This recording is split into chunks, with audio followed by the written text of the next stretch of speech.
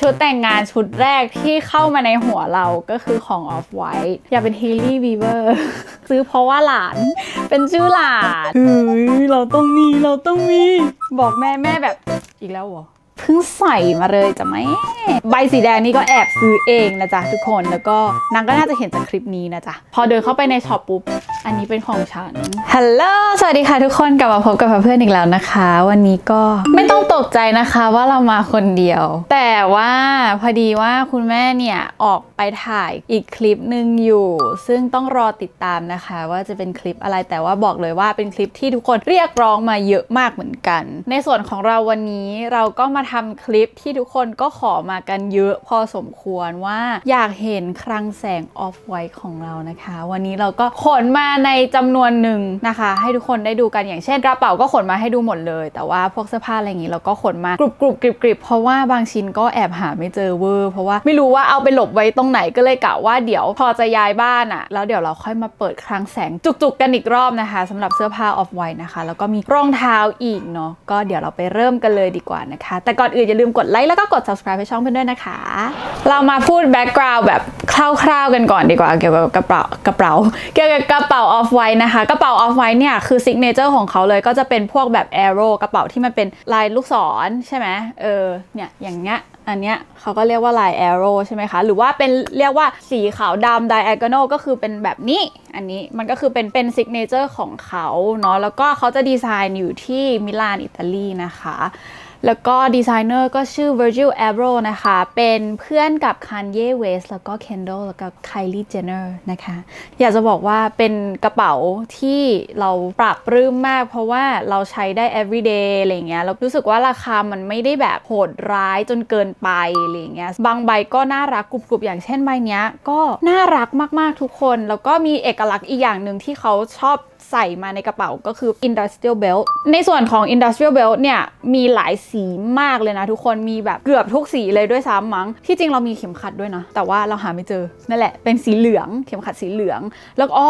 สายห้อยกล้องของเราก็เป็น industrial belt อันเนี้ย แต่เป็นสีเหลือง แล้วเขาก็มีสีน้ำเงิน สีเขียว สีเทา สีขาวอะไรเงี้ย ก็คือมีครบ ถือว่าเป็นซิกเนเจอร์ของเขาเลย โอเคค่ะ ทุกคน เรามาเริ่มกันที่ใบแรกกันเลยดีกว่านะคะ ก็คือน้องคนนี้ อะ น้องคนนี้ก็เป็นกระเป๋า diagonal ขาวดำนะคะ ที่บอกว่าเป็น signature ลาย signature ของเขา แล้วก็มี industrial belt นี่ สีดำนี่ ก็คือสามารถถือได้ 2 แบบนะทุกคนก็คือ ถือเป็น cross body โดยใช้ industrial belt อันนี้ก็ได้ หรือว่าอยากที่จะแบบเป็นเอ่อ belt bag ก็ได้ก็มีเข็มขัดอะไรที่อยู่ที่บ้านมีอยู่ที่บ้านก็ใช้ได้เลยอะไรเงี้ยก็คือใช้ได้ 2 แบบแล้วก็ถามว่าจุไหมก็พอพอได้ เพราะว่ามันก็จะมีรูสำหรับใส่การ์ดใส่อะไรเงี้ยแล้วก็สามารถใส่แบงค์ได้อะไรเงี้ยแล้วก็มีพวกลิปสติกหรือว่ายาดมหรืออะไรก็แล้วแต่เนาะก็คือสามารถใส่ได้ในระดับหนึ่งนะคะทุกคน ถามว่าชอบไหมชอบเพราะว่ามันน่ารักกุกกิกปุกปิกมาก อันนี้รู้สึกว่าจะมาอยู่ในราคาประมาณ 20,000 กว่าบาทเพื่อนจำไม่ค่อยได้ว่ามันราคาเท่าไหร่ แต่ว่าลองไปเช็คดูอีกที เพราะว่าเหมือนยังเห็นหลัดๆอยู่ที่ช็อปที่เอ็มคอเทียนะคะ ก็ลองไปดูกันได้นะคะทุกคนนี่เอาเอาพวกประมาณนี้ออกมาให้ทุกคนดูอืมก็มี 2 ใบนะคะทุกคนนี่ที่อย่างที่บอกเนาะอันนี้ก็จะเป็นรุ่น diagonal ขาวดำนะคะ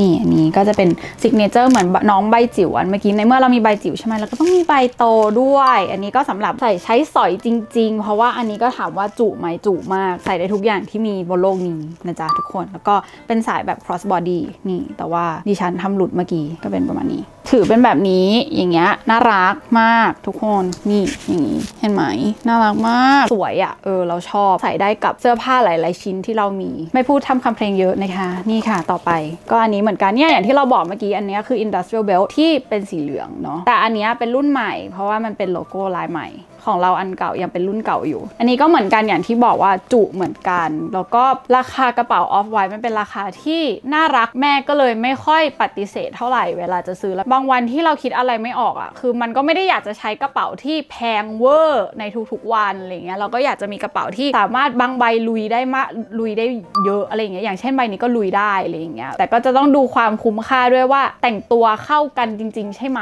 อะไรเงี้ยก็คือดูให้มันสมเหตุสมผลต่อมานะคะก็เป็นกระเป๋า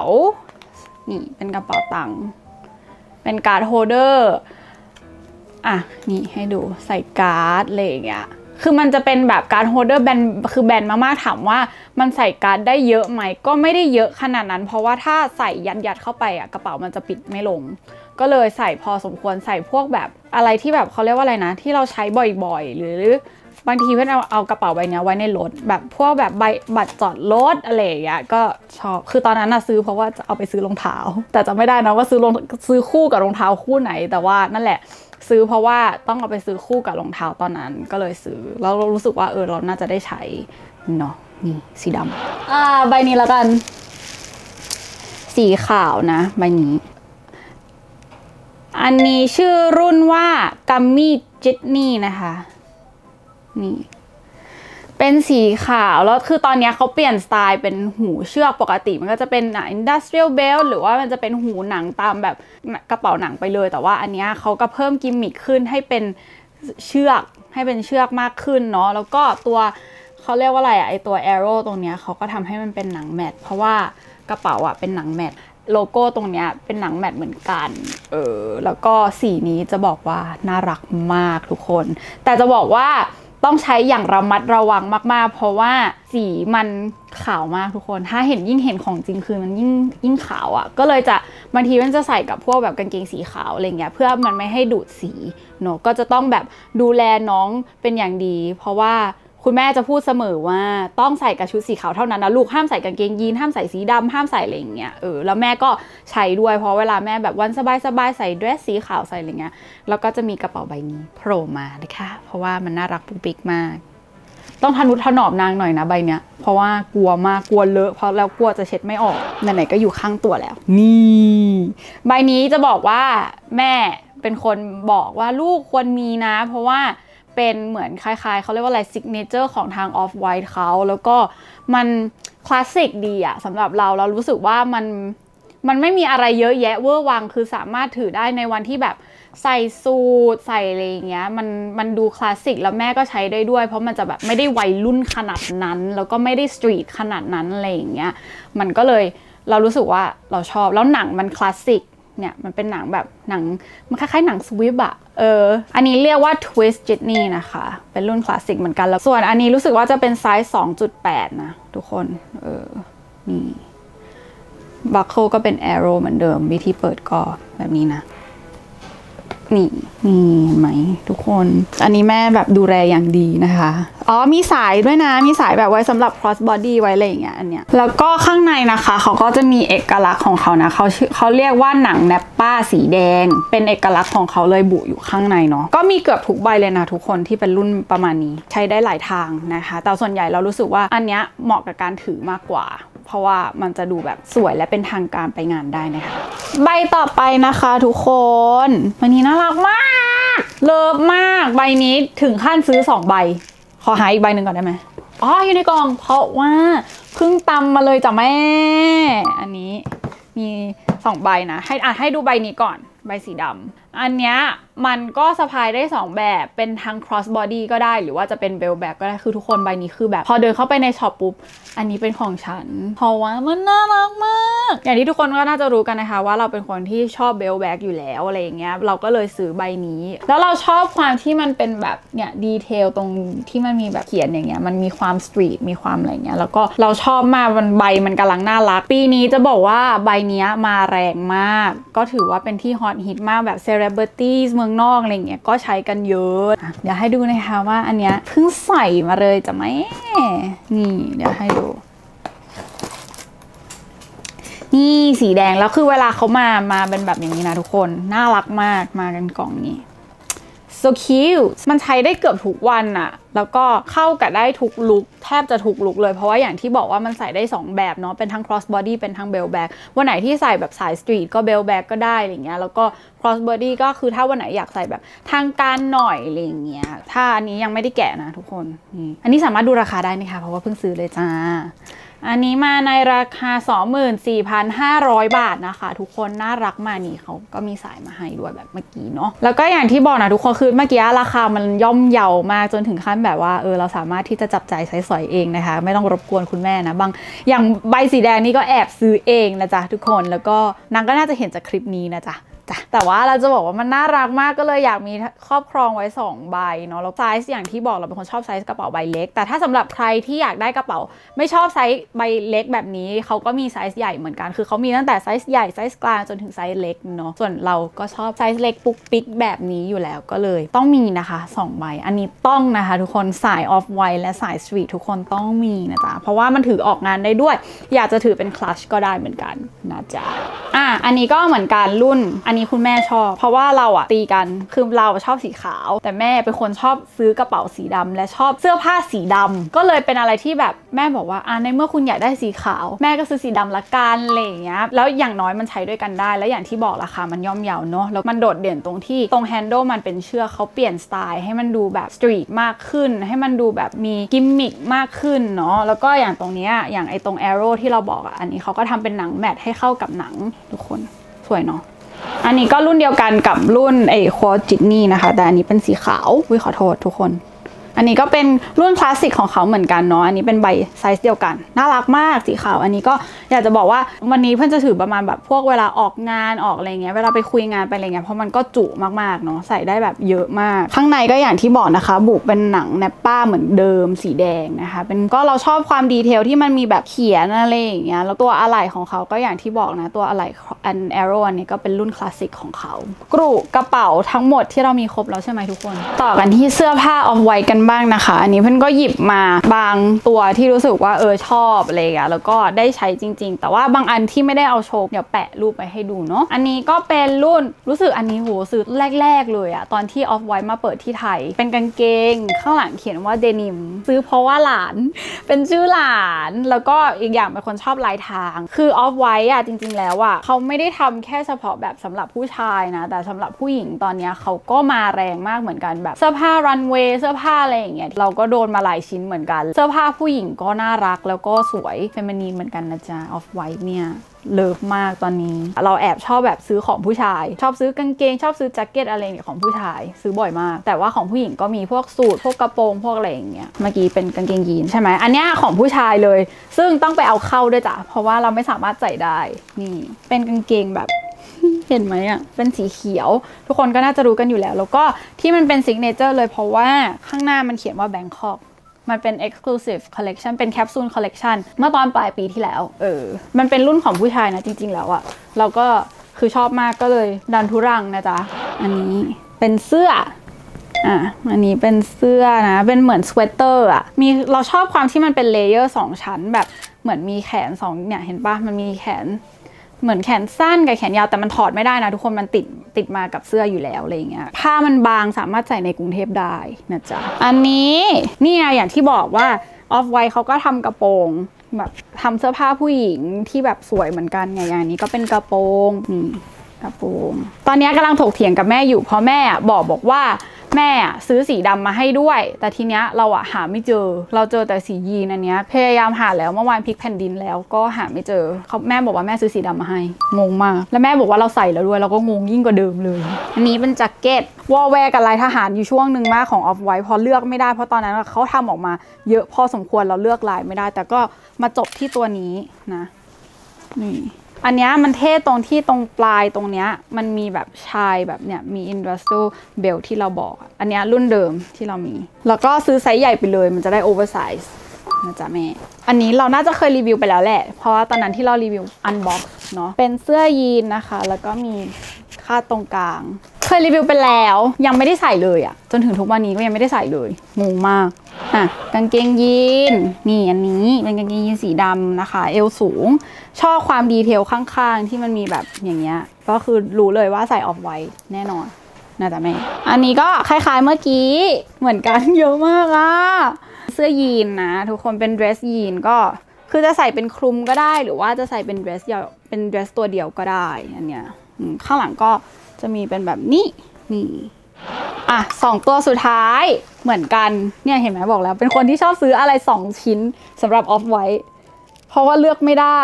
ก็เป็นแจ็คเก็ตยีน crop อันนี้ก็สีดำเนี่ยอย่างที่บอกแม่บอกว่าแม่ซื้อกระโปรงสีดำอะเพื่อมาใส่กับตัวเนี้ย แต่เราหาไม่เจออะ แล้วก็อันเนี้ยก็คือกระโปรงกระโปรงยีนที่เราใช้เมื่อกี้เราก็จะใส่กับ crop ตัวนี้เนาะอืมก็อย่างที่บอกนะทุกคนว่า Off-White อะเขาจะมี detail เนี่ยอะอย่างซิปอย่างงี้ก็มี detail Wอะไรแบบนี้ใช่ไหมแล้วก็เสื้อเกือบทุกตัวเลยเขาก็จะมีดีเทลที่เขียนว่าอะเห็นไหมแม่ บังหน้าหนูไปเลยค่ะเนี่ยที่จะมีเดเทลที่เขียนว่า off white Virgil Abloh อะไรอย่างงี้ใช่ไหม แล้วก็ยังหยิบออกมาใช้เรื่อยๆเลยนะทุกคน มันมันไม่มีวันหมดอายุอะเออ เราใช้กับวนกลับมาใช้ได้เรื่อยๆ อีกอย่างหนึ่งที่ off white จะมีก็อย่างที่บอกเนาะไอ้ diagonal ที่มันเป็นลาย diagonal ขาวดำใช่ไหมคะ แล้วก็นี่ตัว off อย่าง hoodie ตัวนี้ที่เรามี นี่เห็นไหมลาย off ลาย off white แล้วก็เสื้อครอปที่เราเพิ่งซื้อก็จะมีเขียนว่าตรงเนี้ยเขียนว่า off อะไรอย่างเงี้ย เออ ก็จะเป็นแบบ signature logo ของเขาอะไรอย่างเงี้ยหมดแล้วนะทุกคน แล้วก็ถ้าอยากจะเห็นชิ้นอื่นๆ ก็สามารถเข้าไปชมใน IG พาเพื่อน underscore ได้นะคะ P A P U E A N underscore ไปดูได้นะ เพราะมันก็มีพวกสูตรพวกอะไรพวกนี้ที่เราไม่ได้เอามาโชว์เนาะแต่ว่าเราใส่ลงใน IG ไปแล้วเรียบร้อย โอเค จบไปแล้วนะคะ กับเสื้อผ้าออฟไวท์นะคะ ก็เอาออกมาให้ดูเป็นกรุบกริบนะคะ แต่อยากจะบอกว่าทุกคนเรามีเรื่องเศร้าจะมาเล่าให้ฟัง ถ้าใครดูคลิป ก่อนหน้านี้ Q Q&A ที่เรามากัน 3 คนใช่ไหมก็จะรู้ว่าเรากำลังจะแต่งงานถูกไหม แล้วชุดแต่งงานชุดแรกที่เข้ามาในหัวเราก็คือของ Off White จะบอกว่าเศร้ามาก เพราะจริง ๆ แล้วอะเราอะตั้งใจมากที่อยากจะได้ชิ้นนี้ คือความจริงแล้วเขาไม่ได้ทำชุดแต่งงานนะ แต่ว่าอันนี้มันเป็นชุดรันเวย์เป็นโอกุตุแล้วเราก็บอกว่าเราก็บอกแม่ว่าเนี่ยเราอยากได้ชุดเนี้ยมาเป็นชุดแต่งงานของเรา ซึ่งมันสวยมากทุกคนเดี๋ยวเราจะแปะภาพให้ดูนะคะ นี่ตอนแรกอะทาง Off White Thailand เนี่ยแหละติดต่อให้เราเรียบร้อยแล้วแล้วทุกอย่างผ่านไปได้ด้วยดี ตัดสินใจแล้วล่ะว่าเขาทำให้ เพราะว่าความจริงแล้วมันเป็นชุดรันเวย์ที่ไม่มีขายแล้วอะไรอย่างเงี้ยแล้วก็มันจะใช้เวลาประมาณ 4-5 เดือนในการทำอะไรอย่างงี้ใช่ไหมเราก็เลยตัดสินใจว่าโอเคงั้นเราสั่ง แล้วเดี๋ยวกำลังจะไปวัดตัวไปอะไรอย่างเงี้ยส่ง measurement ไปให้เขาเพราะว่าอันเนี้ยมันจะต้องตัดที่เมืองนอกใช่ไหมแล้วส่งกลับมาอะไรเงี้ยผ่านไปประมาณเดือนกว่าๆทาง Off White Thailand เนี่ยแหละพี่พิวกุ๊ปเขาส่ง direct มาหาแม่ว่าเออทาง Off White ที่เมืองนอกเขาบอกว่าเขาขอปฏิเสธแบบทำให้ไม่ได้อะไรเงี้ยเนื่องจากว่าช่วงที่เขาปฏิเสธมามันเป็นช่วงที่อิตาลีกับฝรั่งเศสอะมันโควิดระลอก 2 ที่มันแบบแพร่กระจายแบบหนักมากแล้วล็อกดาวน์อีกรอบช่างเขากระจัดกระจายกันไปหมดเขาไม่ได้มาทำงานไม่ได้อะไรอย่างเงี้ยมันก็เลยทำให้เหมือนแบบเขาไม่สามารถที่จะผลิตชุดนี้ให้เราได้อะเขาก็เลยไม่กล้าที่จะแบบรับปากเราว่าเขาจะทำได้ แล้วมันเป็นงานสำคัญของเรา เขาไม่กล้าที่จะแบบให้คำตอบเราว่าเขาทำให้เราได้อะแล้วเขากลัวว่ามันจะไม่ทันเวลาอะไรอย่างเงี้ย แล้วเขาก็กลัวทำให้ได้ไม่ดี เพราะเนื่องจากว่าเขาไม่สามารถจะตามช่างกลับมาทำงานได้ เพราะช่วงนั้นมันเป็นช่วงล็อกดาวน์ของเขา เขาก็เลยบอกว่าเขาขอโทษมากๆที่เขาไม่สามารถทำให้ได้อะไรเงี้ย ก็นั่นแหละค่ะทุกคนอกหักไปแล้วนะคะกับชุดแต่งงาน Off-White ตอนแรกคือตื่นเต้นมากเพราะว่าอยากเป็นฮีลี่วีเวอร์แต่ว่าไม่ได้ค่ะทุกคนอดค่ะ อดเห็นนะคะคุณแม่ ขอโทษด้วยนะ เริ่มต้นกันที่รองเท้าคู่นี้กันดีกว่า เพราะว่าจะนอกพวกมากที่สุดเนาะ กับคู่นี้เลย อันนี้มันเป็นแซนโดนะทุกคนเป็นรองเท้า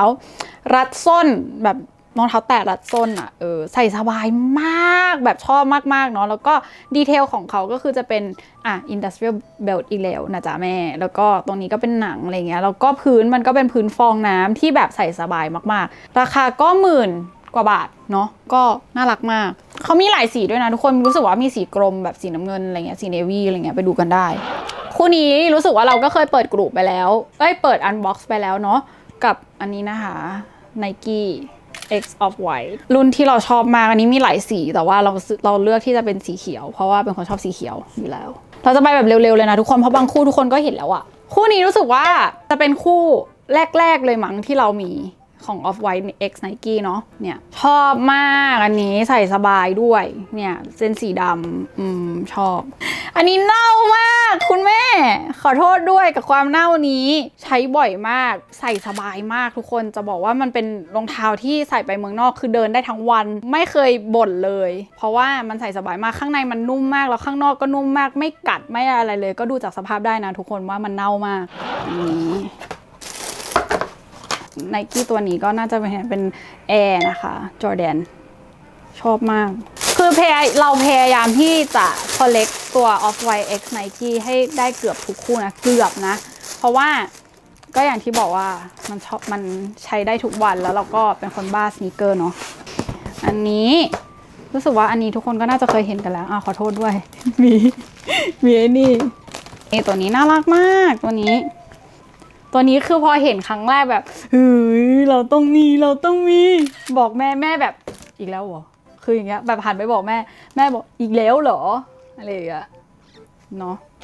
ก็นั่นแหละค่ะทุกคน แล้วก็บ้าด้วยนะ เก็บกล่องไว้